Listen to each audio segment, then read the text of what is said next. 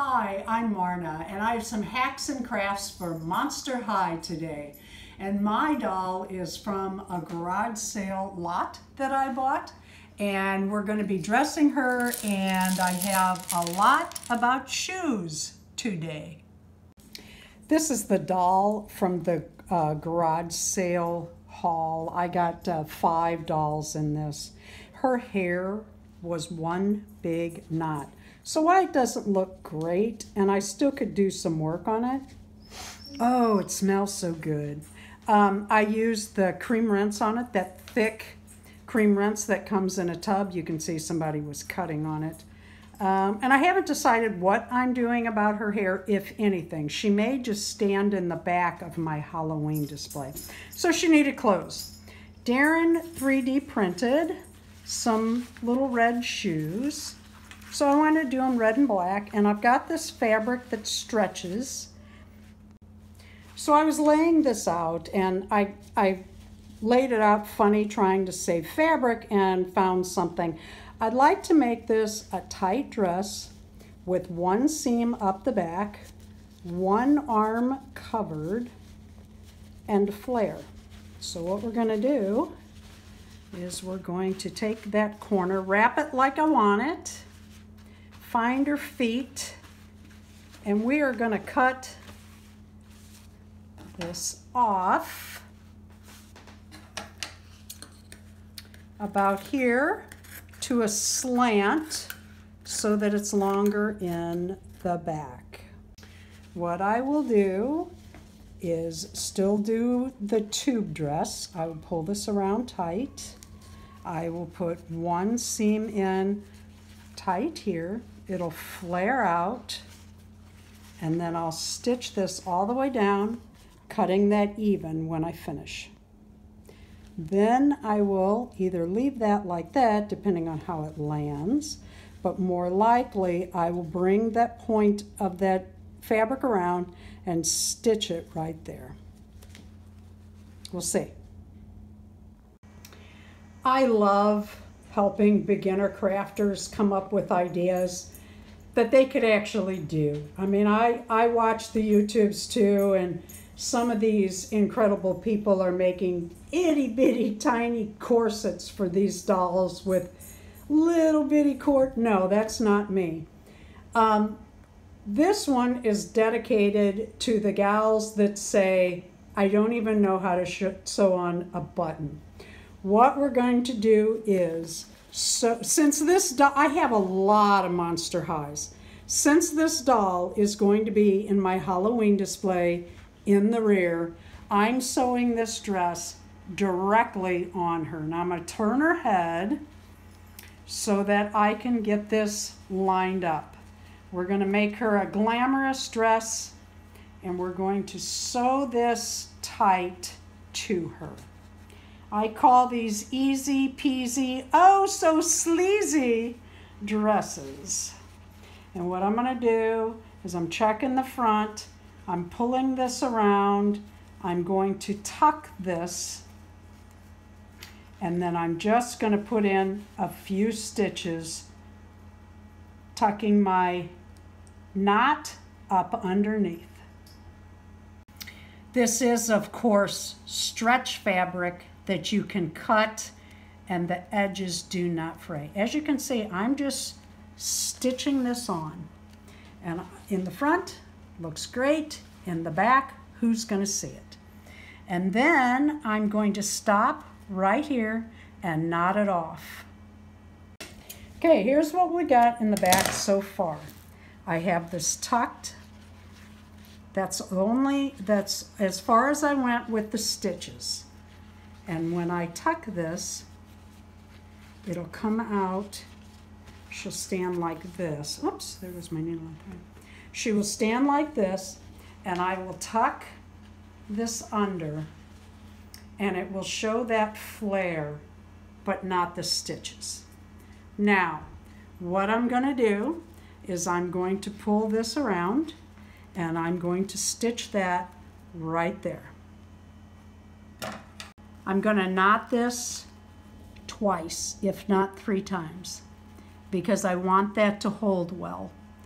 Um, and I will show you what her dress looks like. Let me get this cut and turned around. And if you tuck that under a little bit, you won't see that edge at all. I kind of frayed it fooling around with the fabric. Normally it wouldn't be like that. Take a couple little snips here. And in a stand, in the back of my display, her dress is going to flare out. If I can get it tucked, right? It's going to flare out and be cute enough.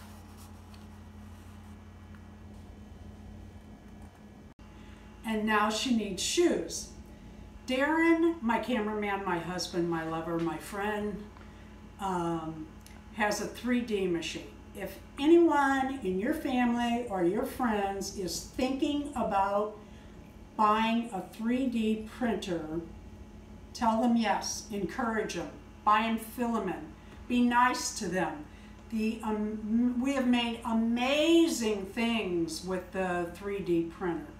Okay, she needs shoes. So Darren printed these Monster High, look at that. You did this? Or was this a... It's a Thingiverse. Okay, on Thingiverse, they have the model or pattern for this. Isn't that cute? Monster High high heels. And Darren printed these colors. We only printed one red because it was the first pair we did and we didn't know we could do more than one at once and wanted to try it. What you can do is, well, all kinds of things. Um, you can use a pipe cleaner or ribbon. You could ballet style them, tying that uh, ribbon up the leg. You know what I'm saying, crisscross. That would really be cute corset style on uh, Monster High. You could use yarn. You could use tape. And what we're going to do is a couple shoes to show you how it goes. And I'm going to choose right now this green pair with a green um, pipe cleaner. And I am going to need my doll to see how big of a piece to do. What I'm going to do is I'm going to wrap this around the front of her foot up underneath. You know, I think it needs to go back here. Yeah. I'm going to cut that Oh, I used my good scissors. And then I am going to hot glue that. And I thought it was best uh, behind the sole of the shoe rather than on the bottom. You can do it any way you want. Okay, Here's her little green stilettos. Uh-oh, with pipe cleaner. I think they're cute. I think they're real cute. But let's try something else. I'm tired of dolls not having shoes, losing shoes. You buy them used and they're barefoot. So, what is this? Electrical tape. I've done this before. I think it works well, and we're going to try it with these high heels. Um, I'm just going to cut a piece about this long. Cut it off. Well, of course, I get crappy scissors. And I'm just going to cut it to the width I think will look good. Oh, crappy scissors. Because I use them on wire and everything else. And then I wonder, why don't those work? Oh no, my scissors are messed up. And I'm going to put that shoe on her foot. I'm going to put the strap across her foot. And then I'm going to wrap that down around the bottom. and come from this direction and do the same. Uh-oh, need to be back a little further. But there she is in her black and red shoes. And here she is. I've got her dress pulled up so you can see her little shoes in the stand. She even has a little motion to her feet. Pull her dress down and pull it around. And there you go. The permanent outfit on a Monster High doll that was cheap enough and going to be trash, really. I came to the garage sale late, so I don't know what would have happened to these dolls. I have some exciting news for you subscribers. I wanted to show you, you could also use uh, duct tape. And if I were using duct tape, I would cut this uh, as thick as you wanted it and then wrap that around the, the top. And the exciting news, we have a hidden giveaway in this video. We're doing that now on our channel. You never know when, what video, or what part of the video we're going to give something away. We are giving these four pairs of Monster High shoe soles to a lucky subscriber. I need to verify that you are a subscriber. Um, leave a like and a comment and we will randomly choose one subscriber and mail these shoes to them.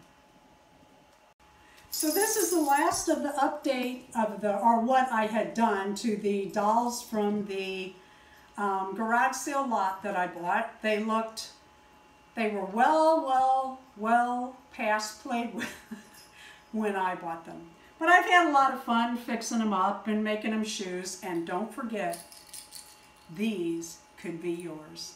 Thanks for watching. Please subscribe, comment, and leave a like.